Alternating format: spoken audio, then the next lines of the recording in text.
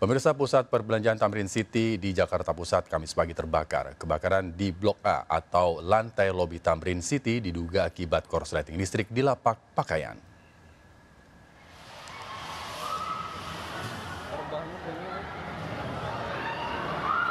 Video amatir merekam ledakan kecil yang terjadi saat pedagang berusaha memadamkan api. Sementara sebagian lagi berusaha memadamkan, memadamkan kobaran api yang terus membesar dengan peralatan seadanya. Kebakaran melanda Blok A atau lantai lobi Tamrin City. Lima mobil pemadam kebakaran telah dikerahkan untuk memadamkan api.